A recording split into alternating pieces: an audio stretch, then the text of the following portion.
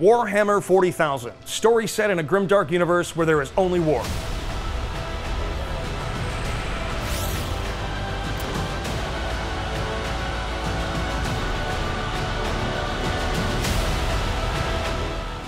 This is a tabletop strategy war game where you can bring to life a force all your own and play it against a friend or a rival.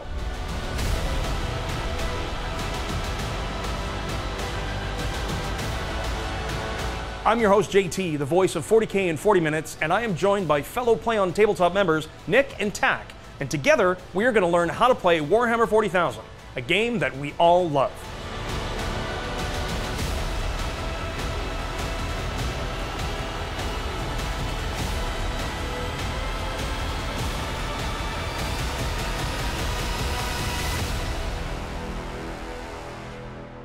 To kick off what is affectionately known as the 10th edition of Warhammer 40,000, we will be using the Leviathan set that pits a force of iconic Space Marines fighting for the future of humanity against the Tyranids, a race of foul Xenos that threaten all life in the known galaxy.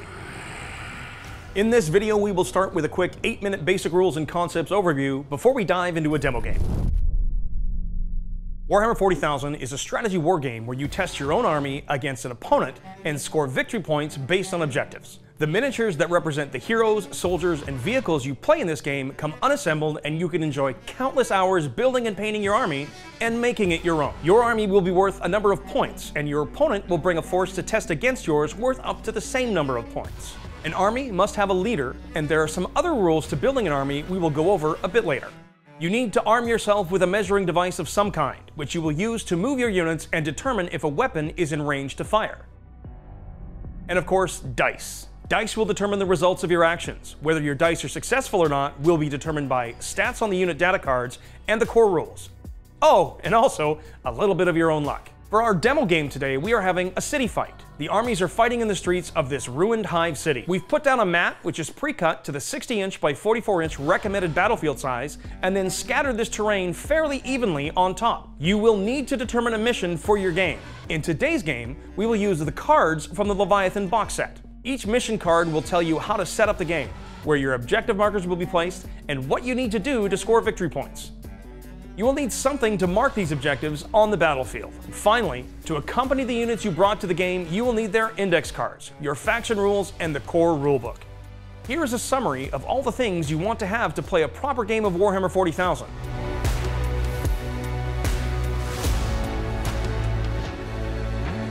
Warhammer 40,000 is a game where you and your opponent take turns activating your entire force before passing turn over to your opponent to do the same.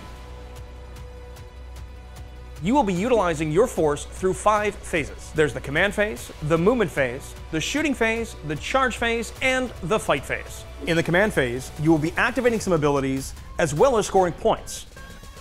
If casualties were taken in the previous turn, you may also have to take a battle shock test.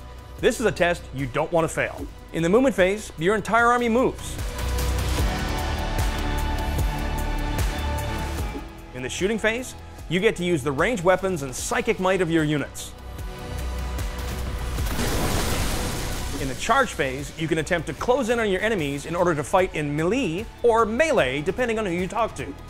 And in the fight phase, it's time for Power Fist, Claws, and the iconic Chainsword. The information you need to use your units will be on the data card. Let's give it a quick look. To move your models in the movement phase, you will find the maximum move distance they can go in inches here under M for movement. This Ballistus Dreadnought is lumbering up the board 8 inches to set up his shot. Ranged weapons are listed here on the Dreadnought's profile. We're going to fire his mighty Ballistus Lascannon. The range determines the maximum distance the weapon can reach. The horrifying Screamer Killer is in range to be hit. A is for attacks, and this is the number of dice you can roll. In this case, we have two dice to roll. BS stands for ballistic skill, and this determines your success. If the die you roll is equal to or exceeds the ballistic skill, you score a hit.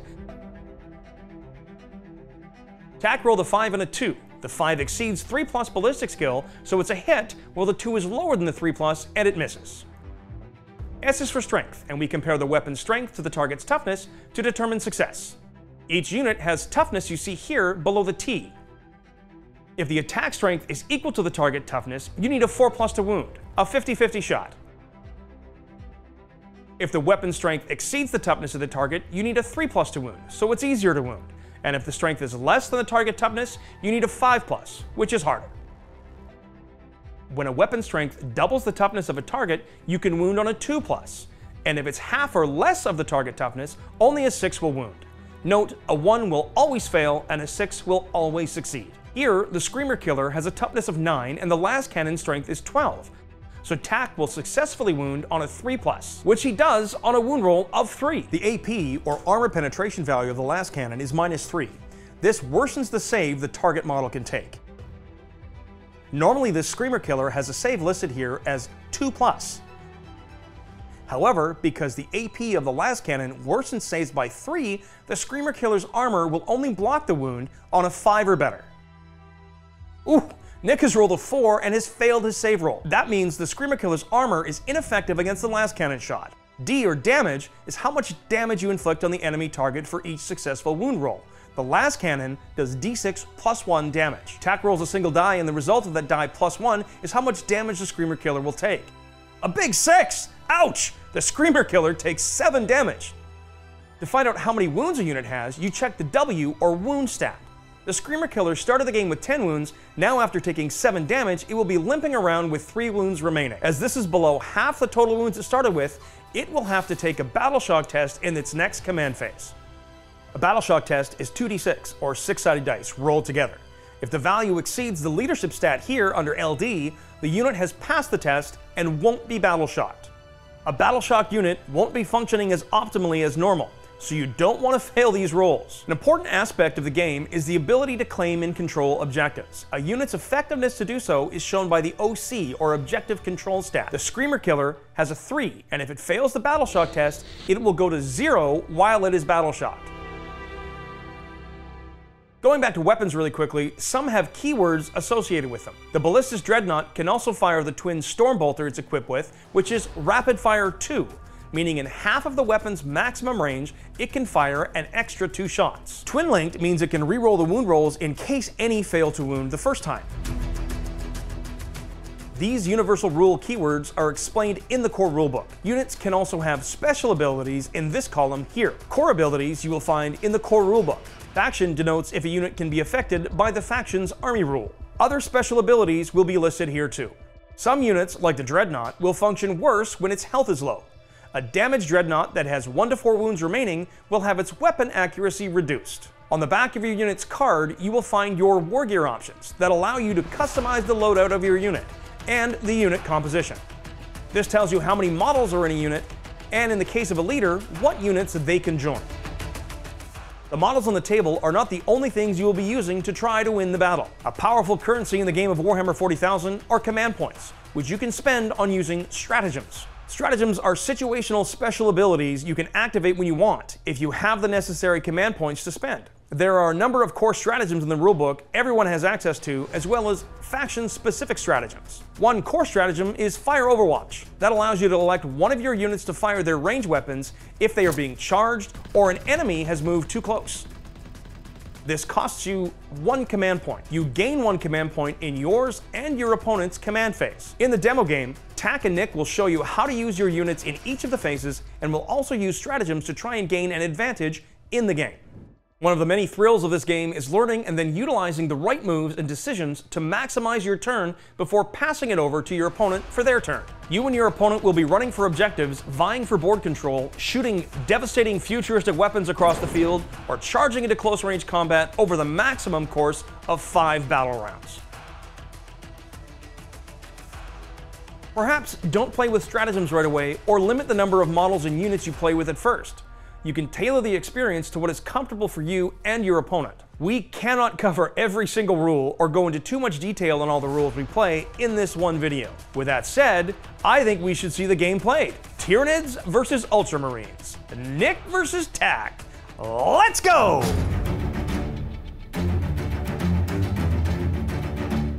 I am tremendously excited to start 10th edition with Tak today. We get to learn a brand new edition, brand new armies, new units. Everything's really cool, and I just. I, ah! I have been collecting Ultramarines, well, you know, for a very long time, and the Leviathan box set is just all new Space Marines, and the return of some classics, which I'm really excited for. So the point of today's demo game is really to bring the audience along with us as we learn the game and go through the steps on how to play a game of Warhammer 40,000. To play a Leviathan chapter-approved battle, you do things in the following sequence. The first thing that we need to do is we need to muster our force, and because we're playing the Leviathan box set, they've already done that for us. We get to play exactly what they gave us in the box set. I'm playing the Gladius Strike Force. Right now, that's the only uh, detachment that the Space Marines have. I'm sure there'll be more. By taking a Gladius Strike Force, I get special uh, army rules. I'm gonna have access to doctrines, and I choose a doctrine to use in for a turn of the game. And I also have Oath of Moment, and you're gonna need to watch out for Oath of Moment because that allows re-rolls against a specific target. I'm playing the Tyranid Invasion Fleet, which gives me a special hyper adaptation. I get to choose one of three bonuses to my army. I'm choosing Swarming Instincts, which allows me to get sustained hits against infantry. Pretty powerful against your army. Because most of it is infantry, except I do have one Dreadnought. Building a roster in 10th edition is actually pretty easy. Start by selecting a leader to be the warlord of your army. I've chosen the Winged Tyranid Prime. As the players say here, the first unit you need when mustering your forces is a leader. You will find the leader keyword here. The first leader that I'm bringing with my force is the Captain Terminator armor, and will also be my warlord. Single models or multiple models may make up a unit which will act together when you activate them.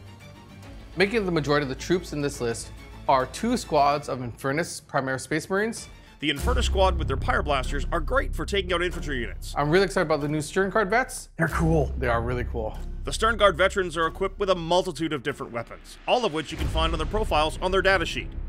I have a Apothecary Biologus. I actually don't know how I'm going to use him. He does have a neat trick, but he's not a medic anymore. An Apothecary should not be confused with a medic. This one is responsible for staying on the battlefield and recovering the gene seeds of his fallen comrades. I also have a Librarian and Terminator armor. This Librarian benefits the squad he can be attached to, but by himself he can bring the pain with psychic attacks. He can unleash these attacks in the shooting phase.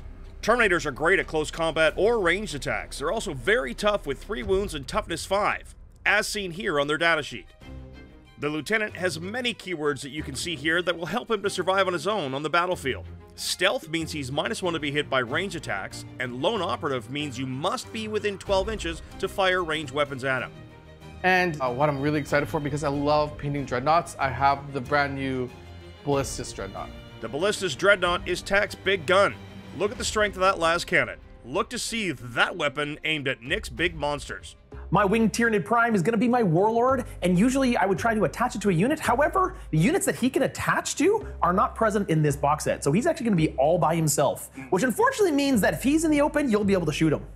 I've got two squads of 10 Termagants. They are basically short-range shooting swarm bugs. Nick's Termagants are the battle line troops in his force. When making an army, you can only have three of any one data sheet. You cannot bring four Screamer Killers, for instance. However, as a battle line unit, Nick could field six squads of Termagants if he wanted to. I've also got a brand new unit, the Neuro Tyrant. Some units, like this Neuro Tyrant, augment and give out a benefit to units beyond what it's attached to. It's a brain bug. It's a psychically attuned abilities, and it basically kills things and makes my guys better. It's actually going to be attached to a unit of Neurogaunts that are going to act as this bodyguard, and, um, and they're actually going to buff each other to be able to increase my synapse. I've also got a unit of five Barb Gaunts. These guys are actually some of my best firepower. The Barb Gaunts are Nick's main guns. Look for him to use their ranged weapons to soften up the enemy as his main force moves up the table to bring the pain up close. My Von Ryan Leapers are kind of fun. Not only are they great at close combat, but they have the ability to deploy outside of my deployment zone. Von Ryan's Leapers have infiltrate, so they can be deployed outside the deployment zone and outside of 9 inches from any of TAC's units. Which means I can take full advantage of stealing objectives early on in the game. I have two little gribbly units of Rippers. They're basically swarm units that come in and just annoy you. They don't do a lot of damage. They don't hold objectives. They just annoy you. I've also got a Psychophage. This is a brand new unit in the box set. It buffs all my units around me, making them a bit more survivable, and it has some decent shooting. The Psychophage is also a Psyker killer, as you can see the anti-Psyker keyword on his weapons. That means it'll do a critical wound when it rolls that number on a dice. Tak will want to keep his Librarian, his Psyker, away from that unit. My Screamer Killer is probably the coolest miniature in this pack. It's big, it's nasty, it's got huge claws. If I can get him in and slice you up, oh, it's gonna be good. The Screamer Killer will melt Marines with his ranged weapons and his melee attacks. It has a lot of wounds, as you can see here, and is fairly high toughness. Should allow it to survive as it runs up the battlefield towards Tak's forces. Step two is to determine a mission. For that, we are using the deployment deck, mission rule deck, primary mission deck, secondary mission deck, and gambit decks in the Leviathan box set. You will determine the game's deployment, mission rules, and primary mission by randomly pulling cards from these decks. Third step is to read and understand the missions, and step four, you will place the objective markers in accordance to the deployment deck rules. Now, what we want to do is we want to get acquainted with the mission that we're playing. So we're doing uh, Dawn of War deployment. So we've got this long edge is mine, that long edge is yours. Good luck. Good luck to you too. I've got more guys than you. Uh, you do. I am outnumbered and it may be pretty tough. Primary mission today is take and hold. From the second battle round, we get to score the primary mission. You score five points for holding one objective, five points for holding two objectives, five points for holding three. The primary mission tells you how both players will be scoring victory points. The mission rules will provide added rules that augment the game. The mission rule that we pulled, luckily, was Chilling Rain. Just means that no other effect is in play. Step 5 is to create the battlefield. Today we are playing on a 60 inch by 44 inch battlefield. Rules for the terrain are found in the core rulebook. We've already placed the objective markers. We've already created the battlefield just to make it a little bit easier on us as we're going through this game. Step 6, we determine attacker and defender, and the winner decides which they want to be, and this will impact deployment and which card deck they get. So we roll for attacker and defender? We do. Here we go. All right, Oh, you so get I it. win. Uh, So now it's a choice. I get to choose if I'm the attacker and defender. Uh, really, what that comes down to is who deploys first, and I'm going to choose to be the defender. Once you've chosen attacker and defender, go to step 7, which is selecting the secondary missions. While the primary mission has objectives both players need to do to score victory points, the secondary mission objectives are unique to each player. Each player can choose to play fixed missions or tactical missions. In fixed missions, you select two secondary missions to score in every round of the game. And in tactical missions, you will be randomly pulling secondary missions and scoring them once the game begins. Once you have scored a tactical mission secondary, you draw a new mission secondary and try to score that one. For ease, both players have chosen fixed for their secondaries, meaning they will try to score the same secondaries every turn. One of them is no prisoners. I basically score victory points for every unit that I kill. And I've also got extend battle lines. I need to hold my home objective and get one of them in no man's land. So I've chosen secure no man's land. It's a little bit different than yours. I've got to hold two objectives in no man's land here to score me five points. I also have assassination. You have a lot of characters. If I kill those characters, I get points.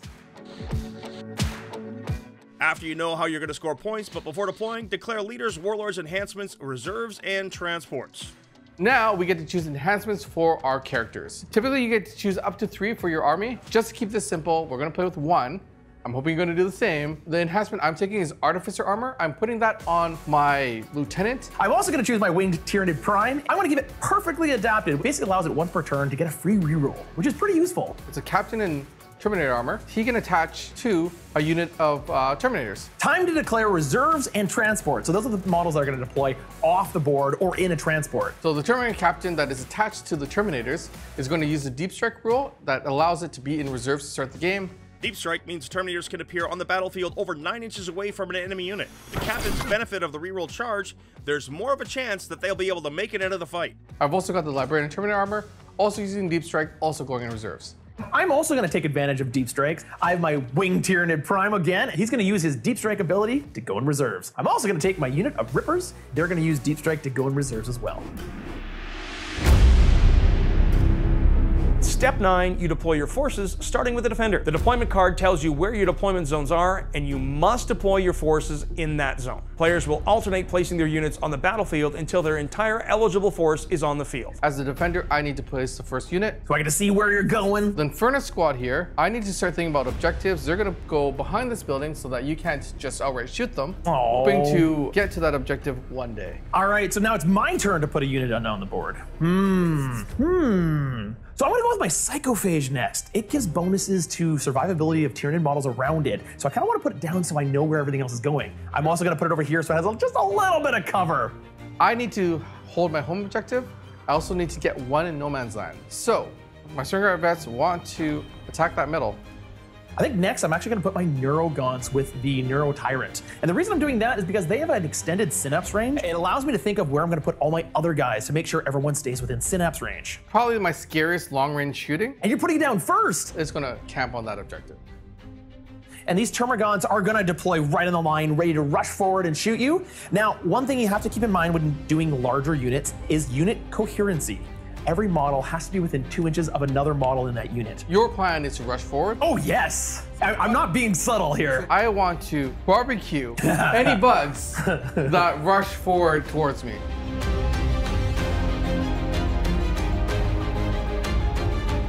Back to me, and I think it's time to put the Von Ryan Leapers. And they will go up front in no man's land, wherever I want. As long as it's nine inches away from you, you're gonna take advantage of this statue to get cover, but also to get the objective and a possible first turn charge against your stern guard. The disadvantage to having deployed first and the disadvantage to having less units than you is I need to now drop my lone operative, and I haven't seen where your screamer killer's gone, he wants to eat him. and I haven't seen where your Barbgaunts have gone, and I really wanted that information. I'm hoping that you're going to focus on this mess in the middle, and he's going to go ready to pounce on that objective over there. I think it's time for the scariest beastie in this box set, the Screamer Killer. He screams as he kills you. It's gonna go right here, Right very close to the line, ready to rush up and eat you. So you're out of units to deploy because your last unit is in reserve. So now it goes to me with my last unit, the Barbgaunts, my only long range shooting, and they're gonna go right here.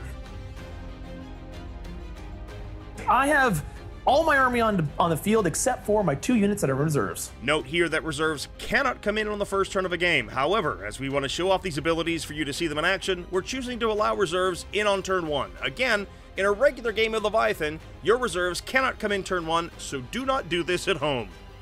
In step 10, we determine first turn. Both players roll, and the winner must go first. Now, the all important role who gets to go first? Do you want to go first or second? I think in this game, I would really like to go first because I just want to rush up and get as close to you as possible as soon as possible before you shoot me. And I've got fairly long range guns, so I would actually like to go first as well to try to whittle down the forces that are coming at me. Highest dice wins. I got a four. And I got a two. Oh no! Oh, that means I've got first turn. Yes. I think the Space Marines might be in a little bit of trouble. Yeah, you'll be fine. So where do you go to get all the things you need to play a game of Warhammer 40,000? Sponsoring our endeavor to inspire as many people as we can to play this game we love, we have Frontline Gaming for North America and Wayland Games for Europe. Wayland Games carries everything a hobbyist and or player needs. They have books, hobby supplies, and of course, Warhammer miniatures. As the biggest retailer in the United Kingdom, I'm sure they'll have what you need and what you want at a great price. We know many people in the UK who have enjoyed the great customer experience of buying from Wayland Games. Frontline Gaming is not only a retailer of Warhammer 40,000 products in the US, but they also have a great catalog of mats and terrain that they've created themselves. We are using a mat and terrain from Frontline Gaming in this video. On top of the products, they also hold some of the biggest Warhammer 40,000 events in the USA, which we have had the privilege of attending many times. They are truly champions of the tabletop, and we encourage you to visit them for your tabletop gaming needs from events to products to even paint commissions. Make sure you use the links in the description below, and we hope to see you telling your own stories at the tabletop soon.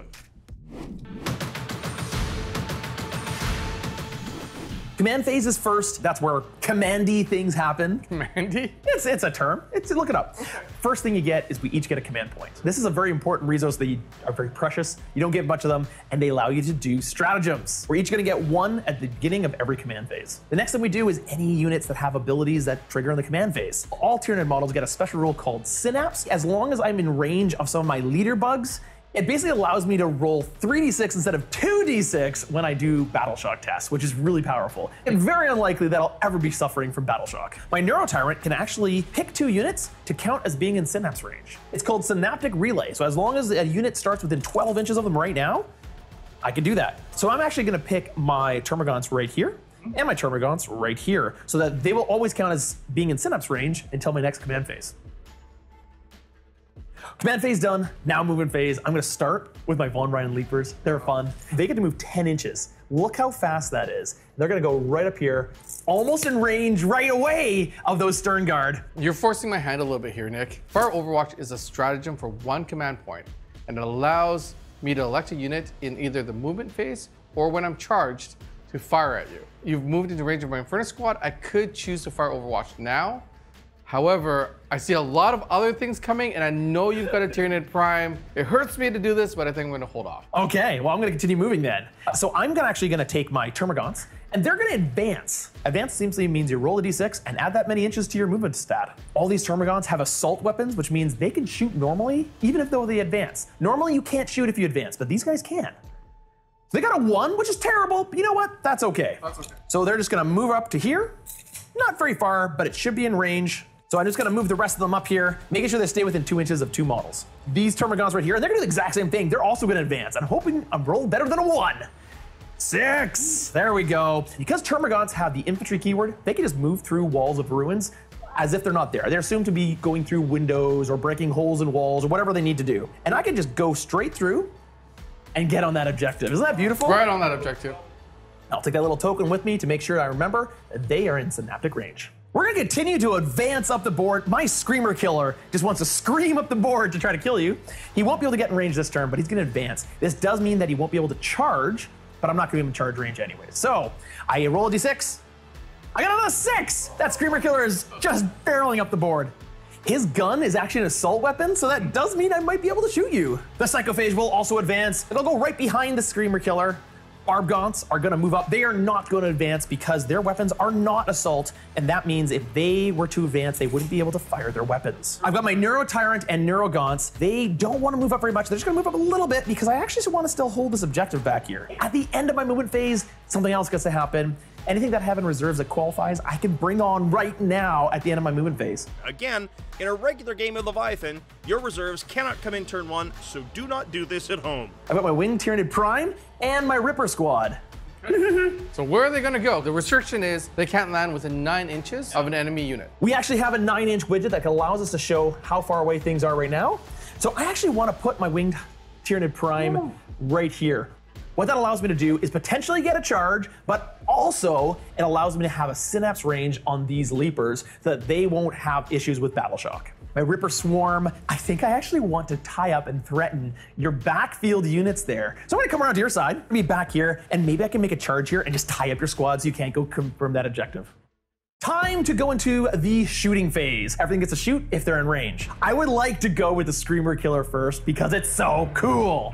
So I select a unit to fire and I select a target. I'm gonna try to kill these flamers because I don't want you to overwatch and kill all of those uh, leapers. It has a random amount of shots. It actually has D6 plus three shots. But it also has the keyword blast, which means for every five models in the enemy target, I get an extra attack. So it's gonna be D6 plus four. I'm gonna get two attacks plus four. So four, five, six dice. The ballista skill of the weapon is four up, which means I only need a four or higher to hit. Oh, there we go. I got three successes mm-hmm. and three failures. Now I roll to see if I wound you. The strength of the weapon is eight.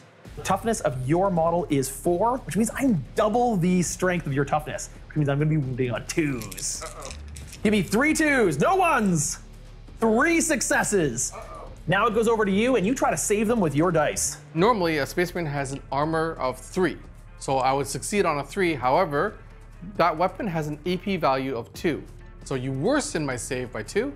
I now need fives. To ignore the wounds that you've just done, I need to roll five ups. You got one. You got one. One damage per wound. Uh, Primaris Marine only has two wounds, which means the two fails equals one dead Marine. After the Screamer Killer shoots, it is a special rule. You have to take a Battle Shock test immediately. You're so overwhelmed by firepower. So Battle Shock test, two dice. You're trying to roll above your leadership value. I've got a leadership value of six. However, your Screamer Killer has a minus one to that. So I need to roll a seven or better, or else they're battle shocked. Luckily, I got a 10. They are not battle shocked. They are okay. They can still function normally.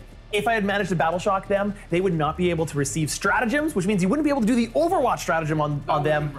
And that would that would have been great for me. And my OC goes to zero. And your OC would go to zero. Yes. I'm gonna go next with the Barb Barbgaunts. There's only three of them in range of your Flamer squad there. I still want to kill those Flamer squads. I think they're a big threat. They also get a random amount of shots, D6 shots each. So I have three guys, so three dice. Mm-hmm. Five, six, seven, eight, nine shots. My ballistic skill is four. Every four is a success. I have five misses and five successes. So I've actually rolled a six, which is a critical hit. Critical hit by itself doesn't do anything, but it triggers special rules. For instance, I have the army-wide rule sustained hits one, which means for every critical hit I get, one right there, I get an extra hit. The sustained hits one. So it counts as an extra hit. So I get an extra dice that counts as a hit, and now I roll the wound. What is the strength of that weapon? The strength of this weapon is five against your toughness of four. I'm better than your toughness, which means I'm gonna wound you on threes. On threes, and I have four successes. I need to roll four dice for my saves. What is the AP value of your weapon? They do not have an AP value, which means you'll get your full save. Okay. And a full save on a Space Marine is three on their power armor, of which I make three, but I fail one, which means I take a single wound. What I'm gonna do is I'm gonna take a die. I'm gonna show how many wounds it has remaining, which is one, and put it beside a Space Marine that has taken a wound. These Barbgaunts also have a special rule when they shoot at something. Their rule is called Disruptive Bombardment, which means if they hit something, that unit is now minus two to its movement characteristics, minus two to advance rolls, minus two to charge rolls, That is rough because they need to get into the fight, and now that you've made that a lot tougher for them to do so. and that's in effect till the end of your turn. I have one last unit to fire with. My Termagants right here that are in range. Only the front four are in range, so those four are gonna shoot at these guys right here. I'm gonna try to take off the last wound off of that Marine. My ballistic skill is four, trying to get a four higher. I got two hits. One of them, however, is a critical hit, triggers sustained hits, which gives me an extra hit. Strength of the weapon is five, which is more than your toughness of four, which means I'm gonna wound on a three. I have two wounds and one fail. Three up, here we go. Oh, you got one. Fail one. Once you've taken a wound on a model, that model has to continue to take wounds until it's dead, and then another model can take a wound. Unfortunately, I failed one, so the one dies. None of my other units that have shooting abilities are in range. So we move on to the charge phase. In the charge phase, I choose units within 12 inches to try to attempt to charge in and bite you. I've got three eligible units my Winged Tyranid Prime, my Von Ryan Leapers, and my Ripper Swarms. The two that came out of reserves landed more than nine inches away. So they're gonna need nine inch charges. However, you've got these right in my face. They're, they just need a very short charge. Exactly. So I'm actually gonna go with that really easy charge first. Okay. Leapers are gonna declare a charge against those Sternguard. Spending the one command point on the Stratagem Fire Overwatch, and I'm going to do that with the Infernus Squad here, trying to whittle down charging unit of Von Ryan Leapers before they crash into my line. Quick Pyreblasters, D6 shots each, Torrent, ignore cover. Oh, So you're not gonna get the cover save bonus. D6 for each weapon, there's three of them, so three is oh, there we go. 10, 13 hit. So the keyword torrent, what that means is that it automatically hit the target. So I go straight to wounding. Normally, when you fire Overwatch, your Ballistic skill moves to six and six only. So only sixes would hit. They're the best at Overwatch. 100%. So uh, it is a strength five weapon to your toughness of five, so I need fours to wound. So that is only five wounds. Look at all those failures. Oh, they're lovely. I like these. My save is a four up, and there's no AP on this, so I'm trying to get fours or higher. And I, there we go. Okay, so three have failed. I have three wounds on each model, which means I'm gonna lose a model because three wounds. So one of these guys are dead, and I'm gonna take the guy way off in the back here. Ah! You're making a charge. You Yes. roll 2d6. Roll two dice, and that's how many inches I go. I made it more than happy with a four, five, six. You roll a six, which means you can move six. You need to end that charge closest to the enemy uh, unit. If you can base, you must base. Well, then my Ripper Swarm back there are gonna try to charge your Apothecary Biologus. They're more than nine inches away because they deep struck today, and let's see if they get in range. With a six, seven, eight, nine, that is enough to get in engagement range, so they'll be one, which is one inch away. That will put them into combat with your Biologus. I told you those guys would be annoying.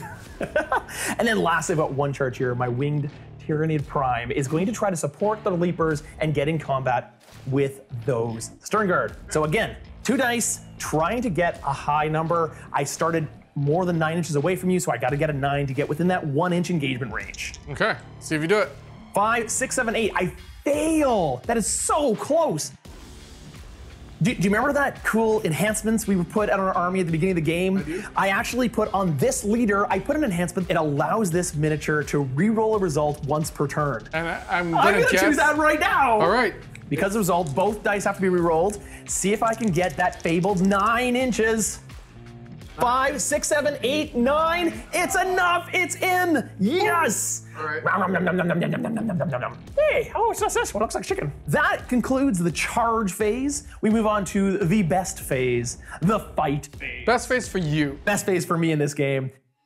And the fight phase is going to happen right now. All models that are in engagement range of each other get to fight. You alternate going back and forth, choosing miniatures that are in engagement range to fight. It actually starts with the defending player by charging, my models now gain the special rule fight first. Okay. So I get to I get to fight first with all of my miniatures before you get a chance. So I'm gonna start with the Von Ryan's Leapers. So they have six attacks each. So I'm gonna roll 12 dice. I'm trying to hit on threes against those Sternguard right there. Here we go. Trying to get some threes. Oh, it's a good roll. I'm gonna wound you on a three because I'm strength of five, which is better than your toughness. Oh, really good again. Three failures and five successes. Five successes. That's a little scary because you actually have AP on that weapon. They're AP one, which means reducing your armor save by one. Typically, I have a save of three. I go to fours. So anything below a four is a wound. Oh no! One guy is dead because they have two wounds each, and one guy is on one wound. Like But the fun hasn't ended No, the fun hasn't ended. It's just beginning. Because now we're gonna go with the Winged Tyranid Prime, and he's gonna also fight those Sternguard. I hit everything. All six attacks succeeded. And it's strength six to your toughness of four, better than your toughness, not double, so I wound on threes. Sure. I have three failures. No. Take three saves and minus one. But, but the scary thing about the minus one is this time the damage is two. Each failure kills a guy. That's true. Oh! oh. So one failure, two successes, which means one guy takes two damage. One model already had one damage, so it only has one wound left. However, damage doesn't spill over to another model. Kill the guy, but the extra damage doesn't do me any good. When I elect the Rippers to fight, they get to do what's called a pile-in move first, which means they can move up to three inches as long as they're going closer and into base contact, if they can, of their target. Right, so both of them are going to now touch the base of the Biologus. You're gonna take a nibble out of my ankles. Is that what's Four, happening? five, six. Six attacks per Ripper Swarm that are gonna go into uh, the apothecary there, and they hit on fives. But I get sustained hits, so that six becomes an extra hit. Right. Your toughness is six, which is way more than double the strength of this weapon, which means I can only wound you on sixes. Right. And I got one, just one. Look at that. Gravis armor, so I have a three up. Uh, that is a one. Hey, it's a failure. So has one of his toes chewed off. That is the end of my part of the fight phase because I have no more units to fight with. I fought with each one individually. Now it's your turn because all the fights first is now done. So now we do with everybody else that does not have fight first. Starting with the defending player. So that's you. Freshly angry. The apothecary? The apothecary Yeah, is going come on to in. fight back. Apothecary has four attacks. So I'm just going to try to punch you with his canister. uh, I hit on three, so all of those are actually hits. Only toughness two against my strength of four. So winning I'm winning on twos. twos. And you have uh, an incredible save of six. On sixes. I'm gonna read three sixes right here. Three sixes. I got one. Two go through. Ugh, doesn't even kill a base. Moving right along, I've got the Sternguard vets. I don't think my chances are very good with these Sternguard vets versus the Prime. So they're going to elect to take all their attacks and only go into the Von Ryan Leapers. They have four attacks each, of which I fail three. I'm wounding on fives. You need fives. Oh, there you go. That's pretty good. Four successes. So they have a four up save on fours. Oh, there's three failures. Wow. You killed one. I Aw, was man. not expecting that. You have nobody else that can fight. I don't have any more that can fight. The fight phase is over. Now it's time to score some secondaries. So my first one, assassination, is kill a characters. Haven't killed any characters yet, although I started. you tried. So my other secondary, secure no man's land, is have two objective in no man's land. I have one over here. Mm-hmm. I have one over here from the screamer killer. Mm-hmm. And you don't have anybody in range, so I control his objectives. I satisfy this objective. I gain five points. I am now winning five to nothing. That is the end of my turn. It is now your turn, the bottom of the battle round. So every battle round allows both players to go, and now is my turn. Order operations, we both gain a command point.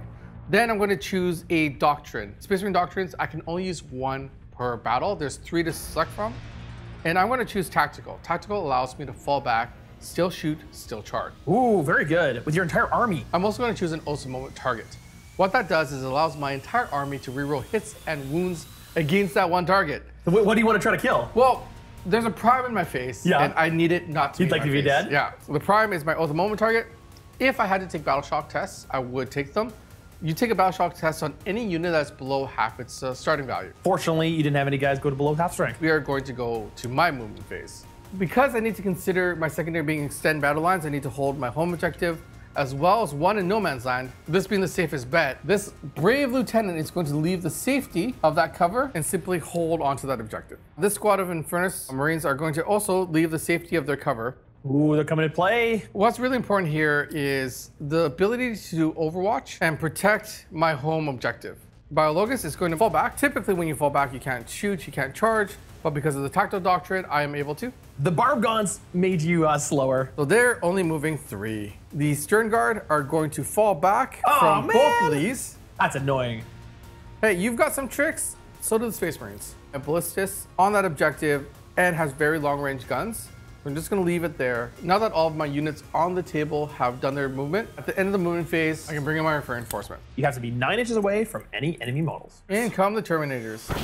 What's really important here is I might be able to make that charge there if the Prime survives, or I can go after those guns. This Terminator, if you can help me out, Nick. Oh, the librarian's going back here. So to start off the festivities of the shooting phase, I'm going to elect the Sternguard. Everything from the Sternguard squad, because there's only three left, is going to go into your Tyranid Prime.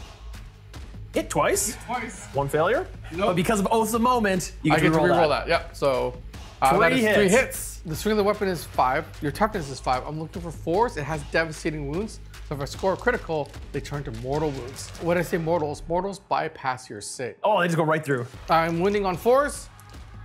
I get one. That's not good. However, due to Oath of Moment, I get to take my fails So good. and reroll, and I get two. Armor penetration one, Fives. I got one save and one goes through. It takes damage. two damage. Two damage? No! So I start with six wounds. I'm down to four wounds already. To that squad, that's not the only weapons that squad. The squad has a different weapon. Luckily, they're modeled to show the weapons that they have. So what you shot me with is just one of the guys? Just one of the guys. Oh no! So we're going to go with the combi weapon. It's normally one shot. You're in rapid fire range, so I get an additional shot. I'm hitting on fours. I'm re-rolling, Oh! so that oh! is two. That weapon, that combi weapon, has anti-infantry, which means on a four plus, because it's anti-infantry four, you take a critical wound, which goes right to mortals. because of devastating wounds. Because of devastating. Oh, awesome moment, reroll! Oh, I failed the second one. It is a mortal wound, which means I can't save it. Down to three wounds left. Oh, and you've got one more guy left in that squad. I get two shots. It's rapid fire one. I'm in half the range, so I get an extra dice. Hitting on threes. Got two hits. I got two hits. Oh, it's a moment. Two. Oh, it's a moment. I got Three three hits. hits. Unfortunately, this is only a strength four weapon, so I'm winning on fives, But any sixes is devastating wound. which means it goes to mortal. Becomes mortal wounds. No, nothing. Oh, the moment reroll. Oh, wow! Oh my goodness! So this is one of those very lucky rolls. Mm. All of these turn into mortal wounds. I can't save a thing. Three wounds left. He's gone! Just like that. Dice tell stories, Dice do and tell we stories. love stories of playing on tabletop. You're gonna love this even more because Stern Guard have a special rule. Oh, right. Bolter drill, once per battle in your shooting phase. After this unit is shot, if one or more enemy units were destroyed as a result of those attacks, this unit can shoot again. Oh my goodness! So that means you get to fire right now with them again? I can choose to. Why, why wouldn't you? So now I've got to consider is it best to do it now or wait for. I'm not going to wait.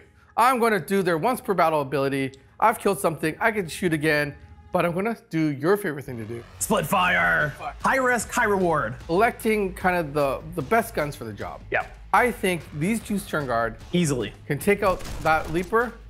So I'm going to take my Heavy Bolter and fire at your Barb Gaunts. They hurt me, I'm going to try to hurt them back. From the Heavy Bolter into the Barb Gaunts, I'm hitting on fours.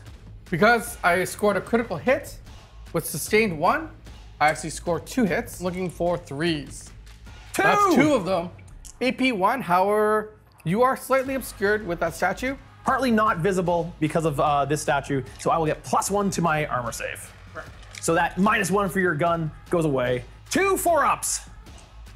I got one, one goes through. It does two damage, and that kills one of the barbs. Ah! I've killed one Barbgaunt. I'm happy with that. All right, so now you've got the other two models to shoot at the leaper. Now, the leapers are minus one to be hit. They have stealth. Right. Okay. I'm looking for fours though. Looking for a five. That is not a wound. Ah, he lives to fight another day. The combi weapon. That's stealth. Ah, yeah, because I'm so stealthy, I'm hiding right in front of you. There's one way to get around stealth. And guess what that is? Flamers. Oh, yes, there's a lot of flamers right there. Now, this weapon, fortunately, it has torrent, which means automatically hits. So you bypass my minus one to hit stealth. They just like flame the area. Winning on fours. All right, I have four ups to try to save it. Three failures, one success. Three failures equal a dead leaper because I only have three wounds. I'm feeling pretty good about that. Now, I have the other Infernus squad. Interesting thing, I do have your Ripper Swarm back here. However, my Biologus has a very special role. It's one that seems very unique in this edition of 40k.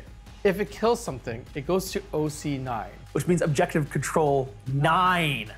and it has to do it in melee. Incredibly situational, but it would be so awesome if I pull it off. So I'm choosing to go with Infernus Squad, one Pyreblaster into the Ripper Swarm, one into the Screamer Killer, not shooting the other weapon. Only one is in, in range of the screamer, but you don't want to overkill the Ripper squad. I'm going to go into the Ripper Swarm. How many shots do I get? Oh no. I got five. You might have overkilled it Oh here. no. Give me some ones, give me some ones. Oh no. I mean, you could make some saves. I'm not gonna roll. I will roll one six. Watch it right here. I rolled two sixes. Kills one of the bases. Three wounds left on the remaining Ripper swarm. Only the sergeant that's standing bravely in front can take shots at the Screamer Killer. How many shots do I get? I get four. I'm wounding on fives, of which I only get one. I save it. The Apothecary Biologus is going to take his Absolver pistol and put it into the Ripper Swarm. It is a one-shot pistol. I'm hitting on threes. I only need a two, AP1 goes right through my armor save. It just does more damage. which means there's a juicy, juicy Apothecary charge Oh, you're up. setting it up. All things coming up Millhouse, and I love this. Psychic abilities are shooting attacks now. I'm going to go with the Librarian, Yeah. who is going to attack you psychically with Mind Bullets, as well as fire the Storm Bolter at you as well. First, I'm going to do the Witchfire. So it's a d6 shots, hitting on threes, wounds on threes, of which I only get one. On a six. No, it goes right through. So that is one dead gaunt. Now I'm going with the Storm Bolter. Uh, it is two shots, rapid fire two, so I get two extra shots. Four, hitting on not great. I am wounding on threes. I did get two wounds. All right, two wounds on fives. Oh, they both fail. I've got a really tough choice here.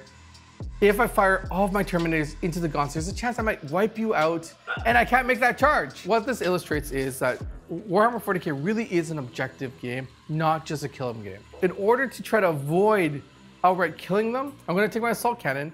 It's going to go into the Barbgaunts. I am barely in range, but I am in range. Then I'm going to take my Storm Bolters on all the other Terminators. They're going to go into your Gaunts. I get six shots with the Assault Cannon. Hitting on threes, I only miss once. I'm wounding on threes. Let's see how many I get. I fail two. Four up saves with the barbs. I got Ooh, all, of three. Oh, Boom. all the other Terminators are firing their Storm Bolters into your Termagants. Hitting on threes, that is a lot of ones. Any minus on that? No minus. No minus. So then my five up, which I got two of. Woo! So you killed two more. I'm actually gonna take from here and here because I'd like to make that charge from the Terminators a little bit harder. A lot harder, actually. I am now over 11 inches away. Before we go to the charge phase, we have the star of the show. We're going to go with the Ballistus Dreadnought. Okay. Okay, it's got three weapons. It's got a lascannon, it's got storm bolters, and it's got its missile launcher. The missile launcher is strength five on its frag profile, which makes it really good at possibly taking out a Barbot. The lascannon is strength 12.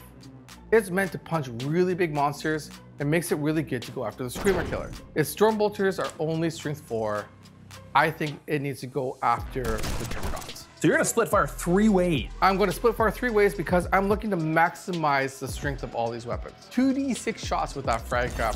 Into the Barbgaunts. Barb guns, so let's see how many shots I get. I get a total of nine. The Ballistus Dreadnought has a special ability. If you're more than half of your starting strength, I can reroll the hit roll. I'm hitting on threes, rerolling. I'm gonna reroll those. Strength five to the toughness of four. I'm winning on threes. Uh, there is no AP on this weapon.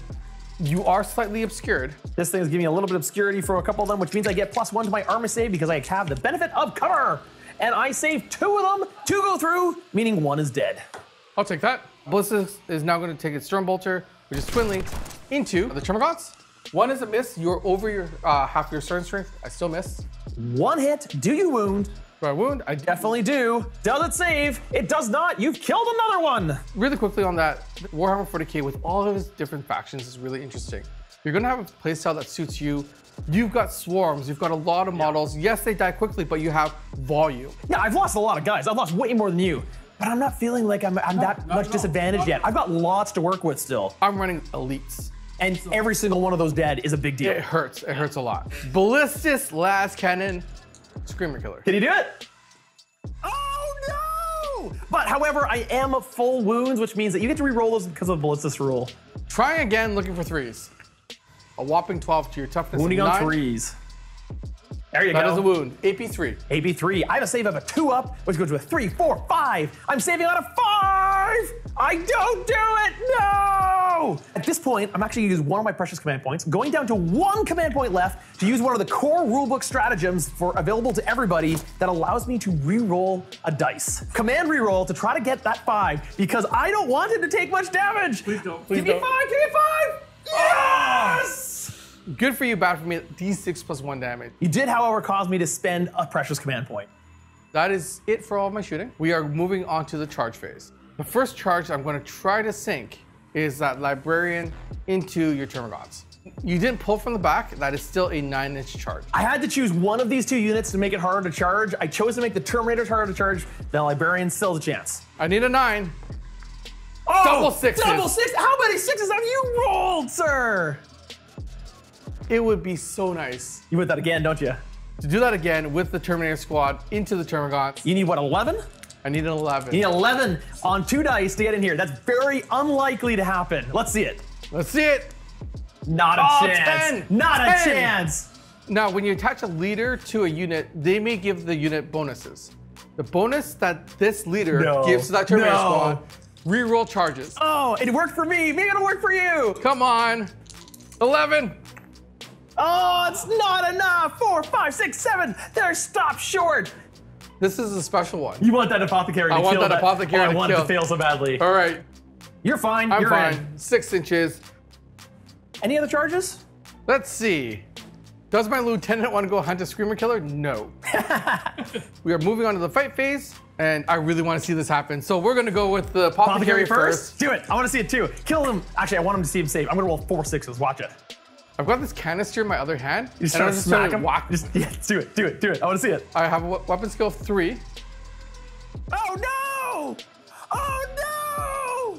strength of four, your toughness is two. At least I only need a Don't two. get a one. Don't get a one. Oh, I just need a six. Watch it. If you're watching at home and you're in the chat right now, chant with me. Six, six, six, don't- six, don't six, deny- six, don't deny six, it. six, six, six. Oh, I, I felt it, but then it just went away. All right, you killed him. Well done, and that triggers your special rule, which allows him to now be OC9, which means that he is going to have a very easy time holding any objective he wants. After you fight, you can do a consolidation move. However, the way that consolidation works is you move towards the closest enemy model, but you have to reach it, or you move towards the closest objective marker, but you have to reach it. If you cannot do any of these things, you stand still. You get basically three inches of extra movement as long as you can go into an enemy unit or take an objective. So he's just gonna stand still, and uh, one day he's gonna use his OC9 and be on an objective. My librarian now is gonna go into your Termagants. I've got a weapon skill of three, a strength six to your toughness of three. I'm actually wounding on twos. There you go. Oh no! And then I don't save it. So you've killed one of them. Bye. Ah! Ah. All right, I think that's the end, but now I get to fight you back. So my gaunts are gonna pile in three inches so that they can fight you because you can only actually strike blows against a miniature if you are in base contact or in base contact with a miniature that's in base contact. And the pop move is compulsory. You have to do it. They're just one attack each, so I have four dice. Hitting on fours, I have one success. They're strength three, so I need a five to wound. Did not wound. They tried to lick the armor, it didn't work so well. I was hoping to kill enough, force you to move towards me, and take you off that objective. Fortunately, I'm still on the Still objective. on there by one freaking toe. That's not the whole story because if I manage to fail my battle shock test here, then I will count as OC0 and not hold the objective. At the end of the turn, I'm going to score some points. I killed your Chain of Prime, I killed your Leapers, and I killed the Ripper Swarm. Each of those are worth two victory points. I would have normally gotten six, however, that one maxes at five per turn. I am also scoring extend battle lines because I've held my home objective. He's taken that one. That's the five additional points. You had the lead with 5-0. I've taken the lead now at 10 to 5. Lots happened. Lots did happen. That's only yeah. one of five turns. But we're both still very much in the game. I've got lots of stuff to work with yet, but there's a lot of threats on the board, a lot of juicy targets. It'll be an interesting round two. Wow, what a fantastic first turn. Tack has the lead at 10 to 5. However, Nick is about to score some primary points as long as he can make his battle shock tests. I can't wait to see what happens on turn two. All right, so it's the start of turn two. Exciting things are gonna happen this turn. I'm gonna kill you with the scream- Screamer Killer. It's gonna be fun. Beginning of the turn, we each get a command point. I'm up to two. I'm also up to two. My tokens go away, so these units are no longer count as in Synapse, and now I can replace these Synapse tokens. However, it's only within 12 inches of this unit right here, so it's not gonna be far enough to put on these gaunts right here, That's a win for me. because so they might they might not hold that objective. I'm gonna put it on the Screamer Killer actually, and I'm gonna put it on this unit of gaunts. Before we go to the Battle Shock phase, it's time for the Tyranid special ability called Shadow in the Warp. I don't quite like the sound of that. I can say it differently. Shadow in the Warp. Shadow in the Warp is a once per game ability. I'm choosing to use it now because I think it's the time to do it. Every single unit in your army has to take a battle shock test right now. And it's at an additional minus one because of this Neurotyrant being on the board. Lieutenant, I'm a leadership six, minus one because of your neurotyrant. I need to pass on a seven plus. Barely okay. Flavor Squad number one. I need a seven. Oh! Okay. Flavor Squad number two with only three models left. Oh! Sternguard veterans. Sternguard it, still okay. Still on okay. a seven. Your Ballistus Dreadnought. Oh, please no. Seven. Oh, Barely, but come okay. on! Terminators. Terminators? Ah! Nine. Oh, okay. Librarian. That's gonna suck. Please, come on, librarian. Oh, you failed, sir. Oh, and the apothecary. The, the cool apothecary. Wait, that has it has OC nine. Does it have OC zero now? If you fail the battle shock test, That's that's seven. it's minus one. It goes to six. When he ties, oh, you're fine. Okay, I fine. still have an OC9. Well, it didn't really do much. So it goes to me, and I have to now take battle shock tests for any units that aren't half strength. Well, I actually have one of those, and this is the Tyranid squad that is holding this objective right now. Normally, if I was in Synapse, I'd get to roll three dice, but I'm not because I lost the token and I'm too far away from my Synapse guy right here. you're rolling so two only dice. roll two dice. Five, oh, six, eight, nine. Oh, you're okay. We're good. You're okay. You're scoring a whopping 15 points right now because you're holding one, you're holding two, and you're holding three. Who's winning now, Tack? You're allowed to take the lead for a little bit. I'm at 20 You're points. at 20 points to my 10. All right. Movement phase, the Screamer Killer is just gonna charge right up the field. I'm not going to make the same mistake I did in turn one. You're gonna Overwatch right I'm now, going to aren't you? Overwatch right now. Oh. There are five of them. There are D6 shots Oh. each. I need big numbers here. Oh, Not, not it's great. terrible. Torrent weapon, auto hits. I'm going straight to wounding. I need fives. So seven two ups because you have no AP, and I save all of them. Not a single wound goes through, sir.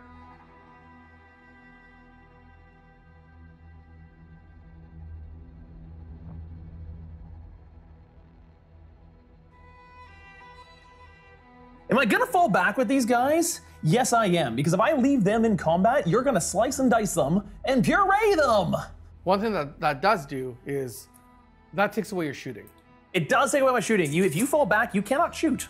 And finally, you have your barb. My Barbgaunts are gonna stay still. Heavy weapons get plus one to hit if they don't move. Now it's my shooting phase. And I'm gonna shoot with the Screamer Killer first. And he's gonna go into the damaged Infernus squad first, try to take it out. So I get D6 plus three shots, and I get a full four shots. I have hit you once, but I have sustained hits, so that counts as an extra hit. So that's two hits, and wounds you twice. Oh. AP two, so your save goes from a three to a four to a five. All right, so on fives, I killed one. killed one. The Screamer Killer, when it does damage with its Scream attack, you have to take a Battle Shock test right now. Minus one again. I need a seven or better. That is a six. They are battle shocked. That is too bad. Excellent. Ha ha ha ha. Psychophage is gonna shoot everything into this lieutenant. D6 shots from the Psychophage. It's got one shot! I'll take it. I'll take it. It does, however, wound because it's a torrent weapon, so it automatically hit. Luckily, the enhancement I put on the lieutenant was the artificer armor. He goes to a two. Nice. On a save, he has a three. He makes Ah, well, I didn't need it anyways. The Termagants are all gonna fire at this Infernus squad right there. Hitting on fours. I got two sixes, which are sustained hits, so that counts as two more. Strength five, so wounding on threes. I've got one, two, three, four, five wounds at you. got my three ups. Here we go. Ah, I Oh killed no, one! you killed another one. Jeez. Lastly, the Barbgaunts, and they're gonna fire at your Sternguard veterans. This is obscuring the shots here, so you will get cover against this. They get D6 shots for each guy. 11 shots, hitting on threes because I stayed still and I'm heavy, so I get plus one. And sustained hits, one, two, three, four, count them four. So you hit more than you shot. I'm wounding him threes. And excellent. Oh, my Lanta. You would normally get plus one. However, you can't increase your save past the three. So you still save at a three up. Ones and twos fail. One and twos fail. Oh no. I killed one and one's got a wound. That's all my shooting. These guys can't shoot because they fell back. These guys are out of range. Let's move on to the charge phase. My Psychophage is gonna start it off. I'm gonna charge your lieutenant. So here we go.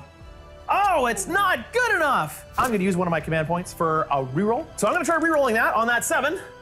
Double sixes, 12 inch. You are going wherever you are. Next, the Screamer Killer is gonna double charge. It's gonna charge both units of Infernus Marines. I don't think I can fail this.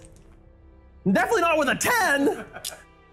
That is all the charges I'm gonna make today. Today for the rest of the day. Yeah, we'll see. Let's go with the Screamer Killer because it's gonna be so much fun. All right, so I get 10 attacks.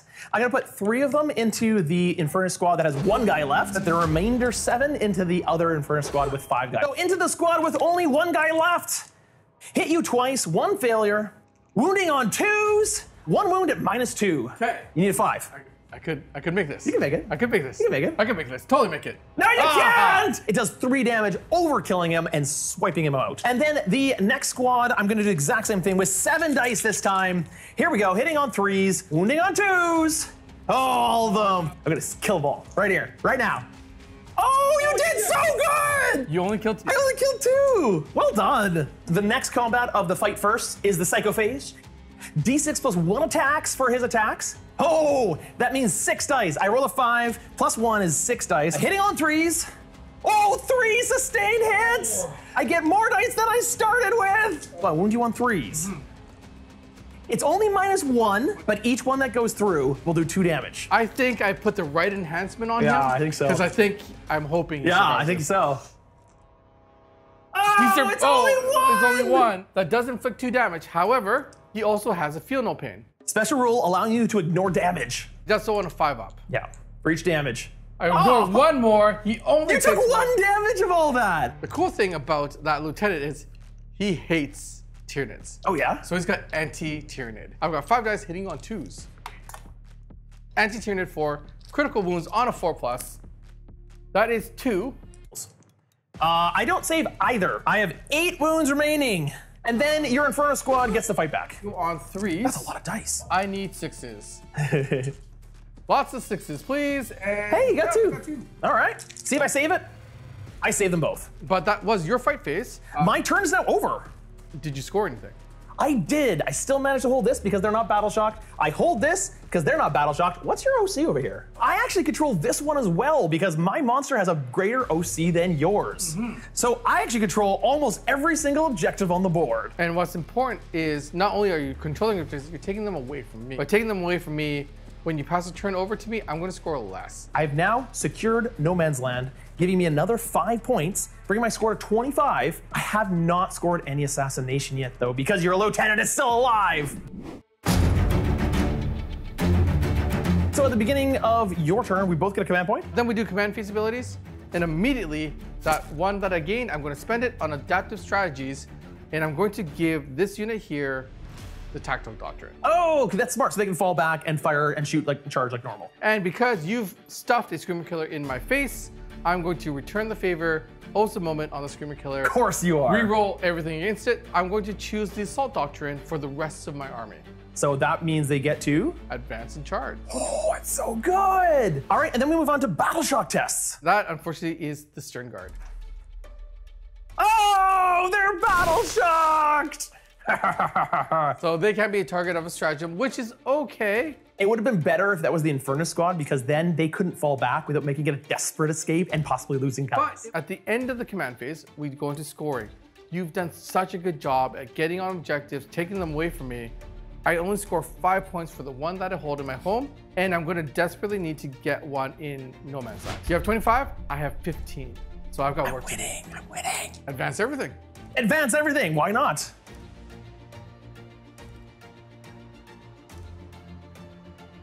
Even though I could have walked closer to them, you cannot walk into engagement range. Because of tactical doctrine, these Infernus Marines are just going to go backward. I need the Terminators to go places. They're way off in the corner. So here we go. Oh, yeah. So they're moving 11, and I want to move to give me option. Infantry can just move through the walls of the ruins and get anywhere they want. That is end of movement phase. So I'm going to hit you with the flame. 12 shots. I need fives for any of these flamers to do anything. So they auto hit, but Oath of Moment, you get to reroll all the fails. Reroll these, looking for more fives and sixes. Oh, it's another one. Seven two ups. One goes through. Finally do a wound to it. Finally did one wound to it. The Ballistus will go into the screamer killer. So I'm going to use the crack profile. So It's going to be different than how I shot the frag earlier. Now it becomes two shots, but much stronger. The two shots hitting on threes, they both hit. So I'm wounding on threes. You roll that. Only one. AP2, so you have a four up save. Four up save. Don't. Oh, it fails. Command point. Using one of my command points. Can I get a four up? I got it. I will take that gladly because that leaves my lascannon. Your last cannons are still really strong. I can't use the same stratagem more than once a phase. Last cannon. Ooh, this is the big one. Shots. Both hit. Wounding on threes, string 12. Ultimate moment. Ultimate moment. Give yourself a three. Yes. Oh no. Well, AP three, right? AP3. Two five ups to make. Come on. First one, save it. Second one, save it. The Screamer Killer. He is more than a Screamer Killer. He's a Screamer blockers. Librarian now is going to Witchfire into the Termagants and also Stormbolter. Four. On threes. threes. Threes. Only one. Nope, goes right through. Down to three left. Ah! Then the Stormbolter, again, two shots, rapid fire two, so four. Uh, one. And oh, I save it. Dice are going my way. Definitely going your way. That's okay, and that rhymed. Because it is charge time. Easy charge, Librarian is going into your Termagants. He's in. I'll just like touch here, so I'm closer to the objective. Then the Terminators are going to charge into The Termagants. Hope this all survives the Screamer Killer. I need to focus on taking objectives away. I think taking the objective is probably the smarter play, even though you want to kill the Screamer. Terminators are going to charge into the Termagants. Here we go, five. Oh yeah, you're in. Come on, come kill some Termagants. Into the fight phase. All right, Librarian into the gaunts. Here we go. Oh, that's all four at AP one. All four at AP1. Oh, you've killed the squad. You've taken the objective. So what needs to happen now is if you can help me out, Yeah, so these guys all move three inches. We actually have a handy dandy three inch widget. Look at this. Okay, so three inches. So this guy's gonna go over here. We're gonna pile in. Everyone's piling in three inches to get in base contact. They can only fight if they're in base contact or in base contact with one who's in base contact. And I think we're only gonna get four in. I'm going to go with the Power Fist and the Terminators first, hitting on threes with nine attacks. And then I'm wounding on twos. Oh, but that immediately kills three. I don't get a chance against that. Now the Captain's fighting. Oh yeah. Hitting on twos. There you go. Hit them all. Wounding on threes. I need a lot of these. Oh! So four more dead. Almost killed the squad. And now I consolidate. We have finished all the fight firsts. So then we go to everyone that doesn't have fight first. And it starts with the defending player, which in this case is me. And I get to choose, and I'm gonna choose a psychophage before your lieutenant fights. D6 attacks. I got three attacks this time, a little better than the last time. I hit once, Once. but sustained hits becomes two hits. Oh, that's true. So two wounds at minus one for you, sir. Yeah, you gotta save one of them or he's dead. Oh, you're fine. So he's gonna fight you back? Not like that. I'm going to score only two points for no prisoners. I only killed one unit. And then I'm also going to score my five for extended battle lines because luckily, You hold this objective and that objective. End of turn two, Nick has a lead 25 to 22, but there's a lot of meat left on this bone. Let's see what happens.